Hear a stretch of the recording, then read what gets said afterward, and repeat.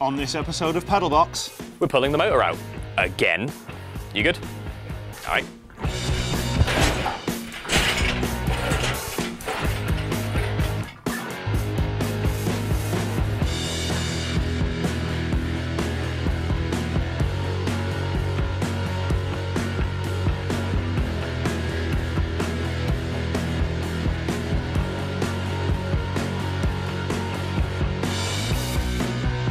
So yeah, once again we've had to pull the engine out because today we're finishing off our firewall and bulkhead panel between the engine bay and the passenger cell, which includes putting in this spiffy, definitely not just a placeholder, acrylic panel for a nice little rear window there. So we're going to start filling out all the metal framework that sits around that. And hopefully before too long, we're going to have an isolated passenger cell. Now most of this is pretty simple. It's a nice big flat sheet of metal that we cut a hole in for our window. The only problem is these side panels at the edges where we have to kind of fold everything over and seal it all together. It's a bit more important here than in a lot of the car because we're going to have potentially exhaust fumes, heat, loads and loads of noise in here that we don't want in there. And trying to kind of, you know, get all the edges sealed up is kind of tricky. It turns out a huge amount of engineering goes into this in production cars that we do not know how to do and therefore have not done. So hopefully we're going to be able to just fold these over, seal it all up, and then put our panel in for our window.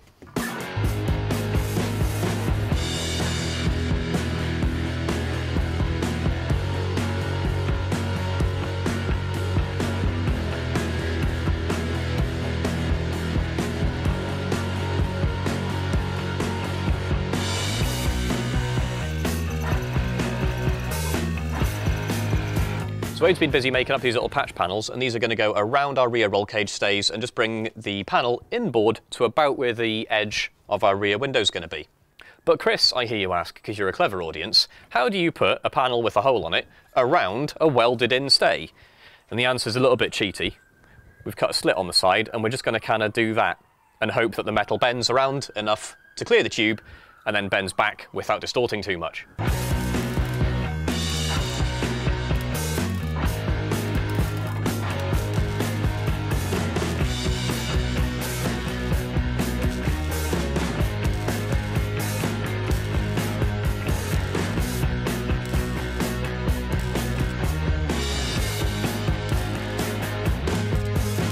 So we're pretty much done with our firewall now. This is pretty much everything in place. The only thing that screwed us is the seal for the window hasn't actually arrived, and we were kind of hoping that would get here because once we've got the seal, we can figure out, you know, how tight of a bend radius it can fit, which would mean we could then actually put the window and the surround in. Now, with that not having arrived, we're going to carry on, put the engine back in and everything else, but at least all of this here, which is all the stuff that the engine was in the way of, which we wanted the engine out for, is now finished. So putting the window in later is going to be easy, easy enough.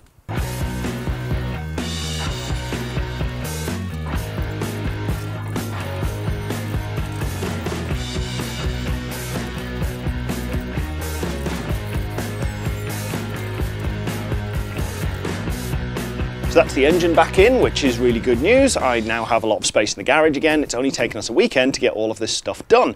But before we even took that out, I'd been working on the car off camera. As I'd mentioned I was going to in the last episode, just sorting out a couple of bits for compliance.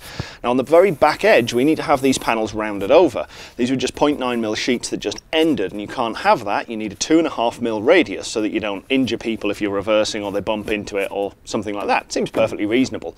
So I've welded on some five mil rod all the way around this outside edge. So now we have a two and a half mil radius across the back, which is really, really nice. It's come together really nicely and it's given the back of the panel a little bit more strength to boot, which is excellent news. And I've also finished off these drainage channels. Now these come all the way down here from the top right the way down and all the water pours off the end. I have tested them, they do work, so that is another big win for getting little jobs out the way that are frankly too boring to film and put in yet another episode, especially when we'd already done that.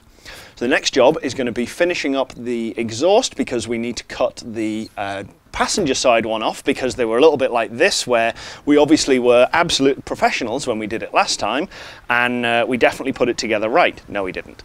Um, we, we kind of put it together on a very cluttered bench and it was a massive failure and it was down about five degrees. So we put that back up, we can install that again, that's all good.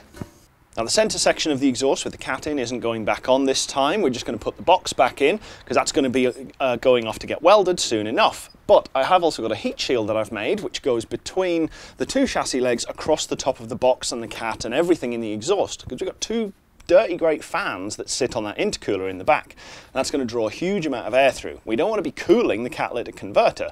We want that all to stay nice and warm and efficient. But the intercooler on the back obviously needs some airflow through it. So we've got a heat shield to drop in on the top of there, which we'll install now. So this is our exhaust heat shield that we made. Uh, it's made of one mil aluminium and basically I just beat over the edges and formed it round and kind of just test fit it, tweaked it, test it, tweaked it um, and made it work into this shape and then folded all of the edges over so it has a little bit of rigidity to it. And it works quite nicely. It avoids all of the pipe work coming out from the turbo that's going to come down into the intercooler on the back uh, and that's where we're going to go next.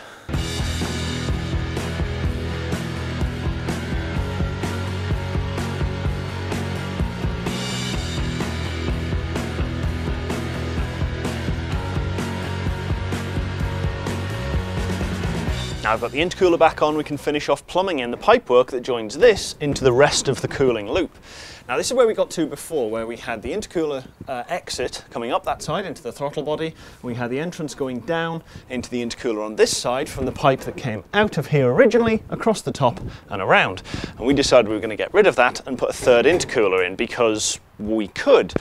So I've ordered a bunch more parts. As you can see, I still haven't checked them or opened them to actually see that they're right. So this is going to be a bit of an exploratory job as we go along. I did manage to salvage some parts from the A3 and the TT that we took apart, however. There was some very useful bends. This one goes on and lifts it up so we can get across the top here, which is nice and convenient. And I also cut up one of the pipes that I had kicking around Ooh, and drop the Jubilee clip off the end because that fits almost perfectly onto the top of the turbo. I've just dropped the Jubilee clip down the turbo, but I'm sure it'll be fine.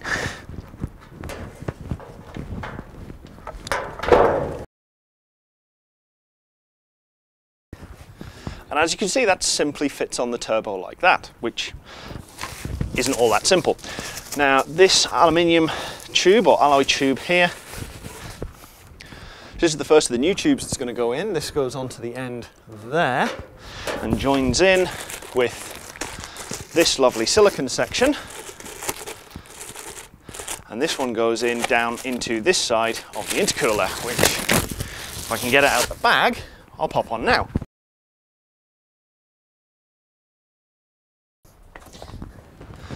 So that completes the very hot side that comes out of the turbo, runs down into here and hits our first intercooler. Then we come out onto this pipe that came off. I can't remember if this came off the TT or the A3 and will then go into a big long length of pipe, which at some point we're going to have to get beads put on the end. But today is not that day. And that is going to go straight across there. Obviously we need to cut that down.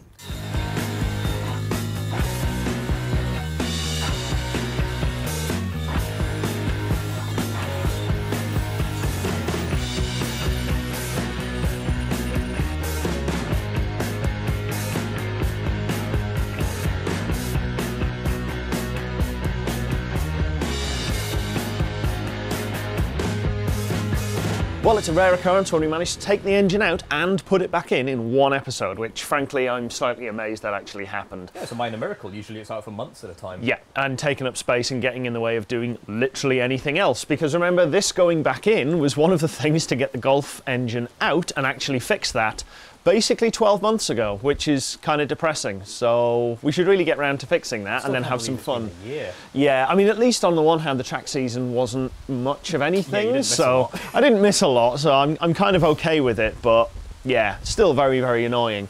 Yeah. But that's in. We've got all of this back panel in, painted up properly and ready for the window to go in. And we've also thrown some pipes at it. Yeah, we've got an almost complete intake and boost system. The only thing we're missing now is an airbox and filter, but everything else from the intake through the turbo, through the intercoolers, all the way back into the inlet manifold, all completely done. So it doesn't look like much out here, but actually in terms yeah. of the system, it is a, a fairly big step. It's basically complete from here all Yeah. the way to the pipes, assuming we actually had the middle part of the uh, exhaust installed under this heat Yeah, shield, that's which currently out ready to get taken away. which we don't. So yeah, but we've got the heat shield in. It actually looks really nice, considering that was um, a, a kind of botched attempt to make the Yeah, that was um, meant to be the engine. or yeah, it was meant to be the engine cover, and it was meant to wrap all the way across over here, and I cut it a little bit too short. And whilst I put it down, it kind of fit nicely, and I went, "Oh, that's a really good idea." So we sat out here with a couple of beers and just panel beat it in one evening as it went dark, which Yeah, it looks pretty good as well, actually. I Yeah. think it kind of it, it fills the bay up a little bit and just makes it. I know, like OEMs obviously don't use big aluminium sheets, but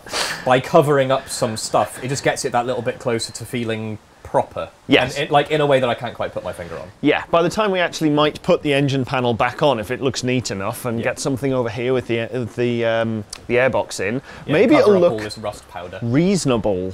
But yeah, we'll see. We do need to give it a really good clean down again, come after the winter, basically, because it's inevitably going to get a bit wet, and there's going to be stuff we haven't cleaned. So, springtime is going to be a proper clean of the entire thing, which will then hopefully mean it's nearly done and we can get some paint on it, which will be awesome. But if you want to help us get to that point, you can buy some of our merch, shop.pedalbox.show for t-shirts, beanies, hats, stickers, all sorts of stuff, including a t-shirt I am I promise I'm wearing under this, but uh, it's a bit chilly this time of year.